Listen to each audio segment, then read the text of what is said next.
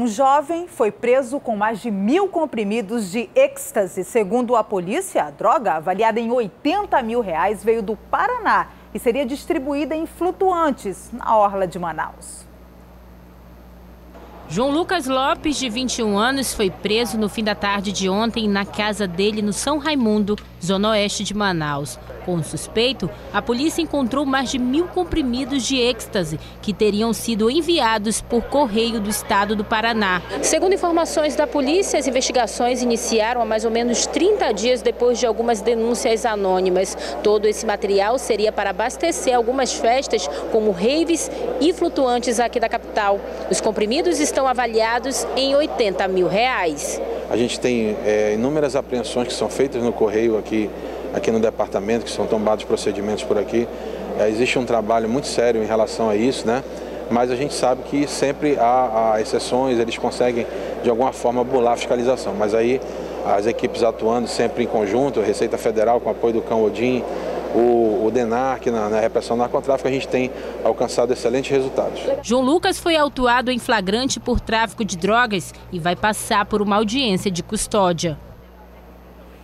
A sala de mídias da SEDUC, que transmite aulas para o interior do estado por meio de videoconferências, tem servido também para audiências do sistema carcerário no Amazonas. Isso tem deixado o processo mais rápido e também mais barato.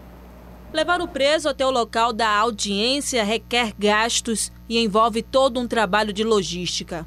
Muitas vezes a demora para a realização desse procedimento é justamente por causa de fatores como esses. Para dar agilidade, rapidez e diminuir os custos, há cerca de um mês, a Corregedoria Geral do Sistema de Segurança Pública começou a utilizar a sala de mídias da Secretaria de Educação para realizar audiências por meio de videoconferências nos municípios do Amazonas. O processo é, que a Corregedoria conduz é para ver a apuração da conduta dos policiais. Né?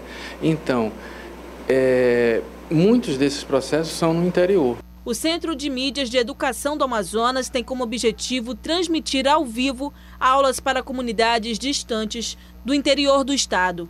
Um projeto pioneiro no Brasil que agora passa também a realizar os processos de audiências. O intercâmbio é realizado por meio do aplicativo Humano. O Centro de Mídias atua em parceria com vários órgãos, como Saúde, Tribunal de Justiça e Defensoria Pública. A transmissão alcança todos os municípios do Amazonas e é por meio de satélite que chega o sinal.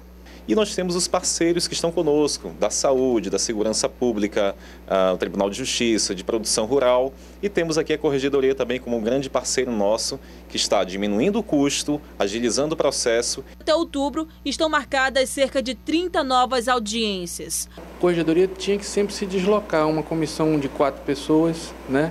Com passagem, pagar passagem aérea, estadia e tudo mais, ou, ou então um apurador único, mas de qualquer maneira com essa, essa, esse custo. A partir do momento que iniciamos o, o trabalho aqui, essa parceria com a SEDUC, e, e essas audiências passaram a ser de videoconferência, esse custo já praticamente zerou, né? Processos envolvendo os ex-secretários de saúde do Amazonas Francisco Deodato e também Orestes Guimarães continuam parados na justiça.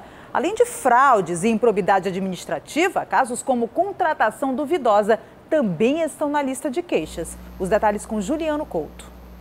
Pois é, os dois ex-secretários respondem a um processo no Supremo Tribunal Federal. A ação indica desvio de verba pública, um dano milionário aos cofres públicos do Amazonas. O documento envolve questões como improbidade administrativa, apelação, processo licitatório, participação de pessoa jurídica em quadro societário, entre outras questões apontadas pelo Supremo. Inclusive, o Ministério Público do Estado do Amazonas também ajuizou uma ação de ressarcimento ao erário público contra o ex-secretário de Saúde, Orestes Guimarães.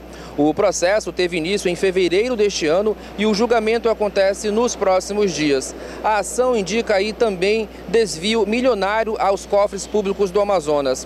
O motivo da ação é que durante a gestão de Orestes, a pasta contratou a empresa Milênio Locadora Limitada para a locação de ambulâncias. Essas ambulâncias deveriam ser de veículos novos, mas não foi o que aconteceu. Os veículos eram usados e não passavam por manutenção.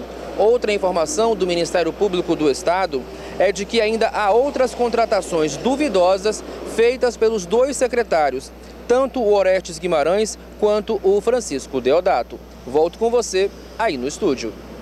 Obrigada, Juliano. No próximo bloco você acompanha ao vivo os preparativos para a primeira noite de apresentação dos Bumbás Garantido e Caprichoso lá em Parintins. Agora são 18 horas e 31 minutos. Não sai daí que a gente volta já já.